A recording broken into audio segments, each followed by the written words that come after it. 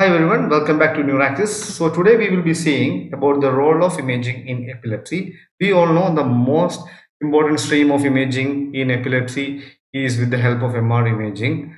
And the concept you have to understand that whenever there is a lesion within the brain parenchyma, whether it can be a tuberculoma or whether it can be any other infective focus like cysticercosis or a simple infarct which is going for gliosis.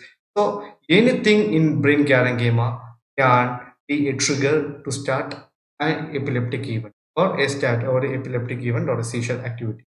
So there are some specific lesions which are highly specific for these epileptic activities and some of them are mostly oriented in the region of temporal lobe. So today we are going to see those important lesions that are very much specific for epilepsy. So first we can see a question. So this is a case of a 18 year old male child who presented with multiple episodes of complex partial seizures which were not responding to medical treatment. So MRI brain is taken. So you know this is a coronal image. See this is a coronal section of brain and this is a T2 coronal image.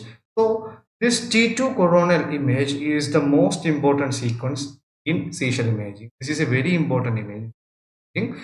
So here we have there is a lesion here. In exams you won't get this arrow but you can have to understand that? The most important region that you have to assess when you are dealing with a case of seizure disorder is hippocampus. So this is the region of hippocampus. Okay this is the hippocampus. What we are seeing here is this there is a t2 hyperintensity in the region of hippocampus. And if you compare this right hippocampus with the left hippocampus you can see this left hippocampus is well and good. It is relatively gray in appearance. Uh, this is relatively gray in appearance but this is hyperintense this there is a brightness here. Also you can see that the, if you compare the two sides there is some volume loss in the right and because of this volume loss there is enlargement of this choroidal fissure here this fissure and this ESS space is enlarged in this region. So here we can see there is an increased signal intensity within the hippocampus. So the signal intensity is increased in the region of hippocampus there is some volume loss of hippocampus and one other feature is there is dilatation of the choroid fissure. That is this fissure is also dilated. So these are the uh, features imaging features which we are seeing in this case. And you have to understand that this is a case of mesial temporal sclerosis. So you have you should know mesial temporal sclerosis is a very much the most common cause of temporal lobe epilepsy is mts that is mesial temporal sclerosis it is nothing else. It is just the sclerosis of the hippocampus. So whenever there is a sclerosis or destruction of the hippocampus there will be signal alteration of the hippocampus. So the affected site will shows t2 hyperintensity the affected site will be bright in t2 so this here if you see this is the normal hippocampus in the right side. This is the normal hippocampus in the right side. This is a S shape okay? But if you see here there is some hyperintensity here and the S shape is lost. There is some volume loss so whenever there is a destruction or whenever there is a sclerosis of hippocampus, that condition is known as mesial temporal sclerosis. This is the most common association. This is one of the most common causes for intractable temporal lobe epilepsy. And you should know this is the sequence that is coronal T2 weighted images. Okay, this coronal T2 weighted images are the most important sequence. So this is the most important sequence for epilepsy protocol. So whenever you are suspecting this uh, epilepsy or whenever you are investigating seizure disorders, you should always obtain a coronal T2 image. You should always see the integrity of hippocampus.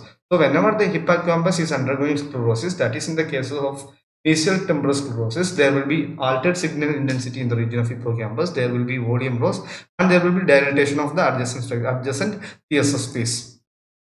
So these are the MRI speeches. There will be reduced hippocampal volume, uh, that is the hippocampal atrophy. There will be increased T2 signal intensity. See, this is the right side which is normal. This is the left side which is abnormal. There is increased signal intensity and there is volume loss. And it will lose its more the morphology of the hippocampus will be lost. Okay. There will be an enlargement of the temporal horn of the lateral ventricle. This is the temporal horn of lateral ventricle will be enlarged. And sometimes you will be able to see the atrophy of ipsilateral fornix and mammillary also. So all these are the features of mesial temporal sclerosis. Now moving forward, this is a case of an 18 year old male who presented with multiple episodes of complex partial seizure. So the history is same. The seizure is intractable to that of medical treatment. So the patient is having some complex partial seizures which is refractant to the medical therapy. So MRI will be taken, you, you know, MRI will be taken for those patients and we are uh, asking for the diagnosis. So here if you see this, this is the right lobe, this is the left lobe. So if you are given an image, you have to see the both sides. So this is the right side, right frontal region is normal, caudate normal, descendentiform nucleus are normal, thalamus is normal, left side. If you see the left side, then in the left parieto-occipital region, here you are able to see a hyperintensity. So there is a irregular hyperintensity in the region of left parieto, in the region of left parieto-occipital cortex. So we should see the options. First option is for focal cortical dysplasia. Second one is mesial temporal sclerosis. Third is DNET. Fourth is Creutzfeldt syndrome. So you should know what we are dealing with. So this is a case of focal cortical dysplasia. You should know what it is. So we have to go back and see what is meant by focal cortical dysplasia. As the name suggests, there will be dysplasia of the cortex there will be a focal dysplasia of the cortex. So this is a disorder of cortical formation. So if you want to investigate this focal cortical dysplasia, you have to do MRI and it is very important to obtain a T2 coronal image. This is a T2 FLAIR coronal image. Okay, it is very important to obtain coronal images and also we have to see. So what we will be seeing is there will be cortical thickening in that region. So the affected region will show cortical thickening. So if you go back and see, if you compare these two region cortex, see this cortex is like this. But if you see here this cortex is thickened.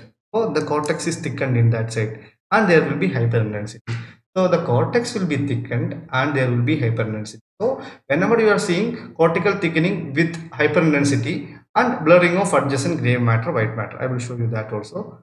So here you can see this is the gray matter and this is the white matter so this is the gray matter, white matter. But in this region, the gray matter, white matter differentiation is lost. So these are the three important points in suggestive of focal cortical dysplasia. There will be thickening of the cortex, there will be hyperintensity in the adjacent that region of involvement, and there will be loss of the gray matter, white matter difference. So these are the three important points to say focal cortical dysplasia. Always keep in mind FCD that is focal cortical dysplasia is a very important cause for intractable epilepsy issues. Okay and you have to understand that sometimes in patients sometimes there can be a combination of focal cortical dysplasia and MTS that is mesial temporal sclerosis. So you should also look for that.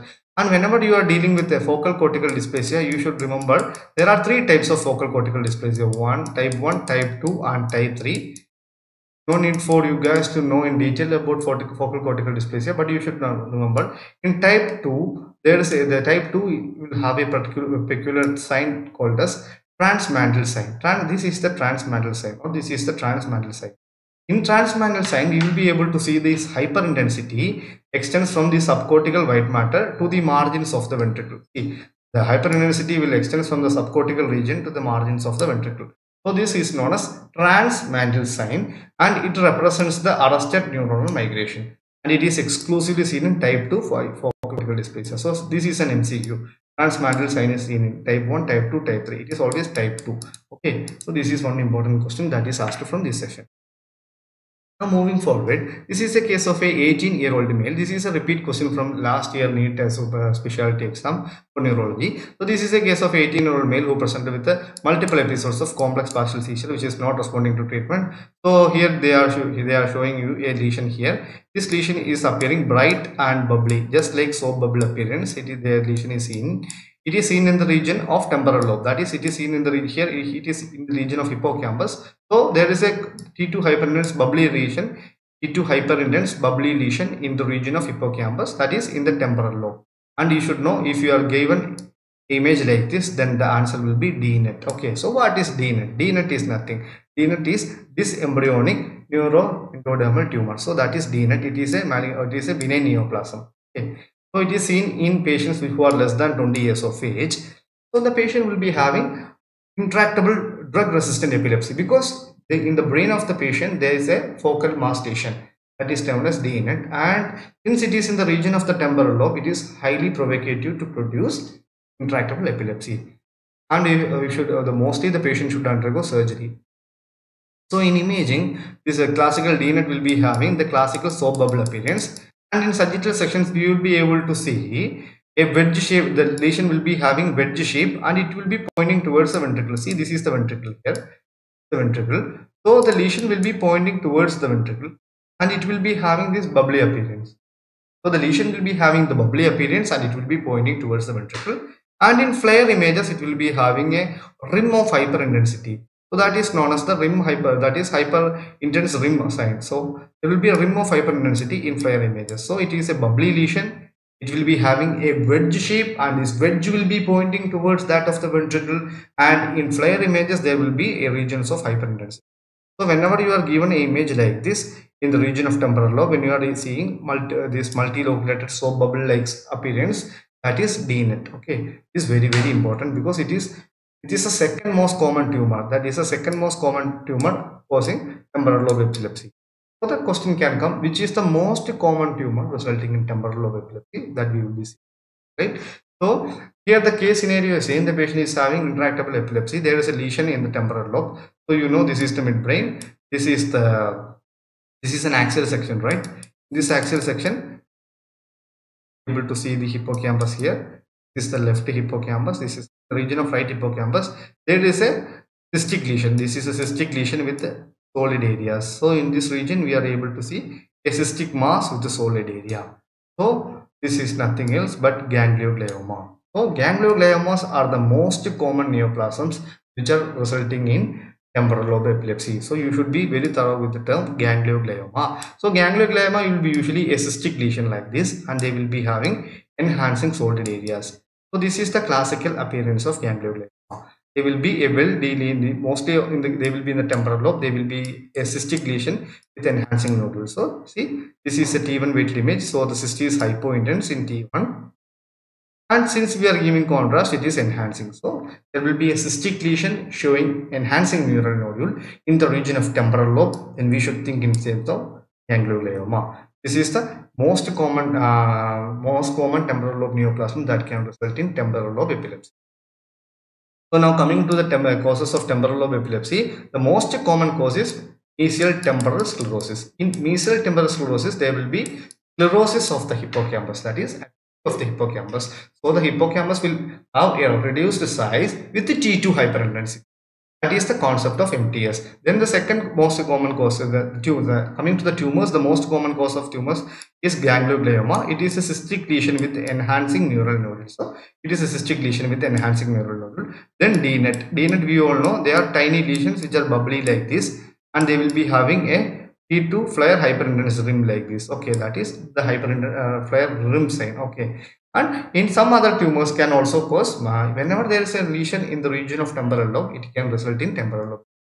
But these two are the most common tumors, and you should know this mesial temporal sclerosis, that is MTS, is notorious for causing temporal lobe epilepsy. Also remember about FCD, that is focal cortical dysplasia, which is a developmental defect that can result in seizures. Now moving forward, this is a case of a 36 year old male with the recurrent episodes of seizure. So he had MRI brain was advised for the patient diagnosis. So here you can see this is the right side and this is the left side. The left brain appears to be normal in size. But what happens in right side is there is a volume loss of right side brain. Uh, if you compare the both sides, you can see this side is little bit and this side. And there are multiple hyperintense area the brain parenchyma. What is this condition? So this is a case of gliosis.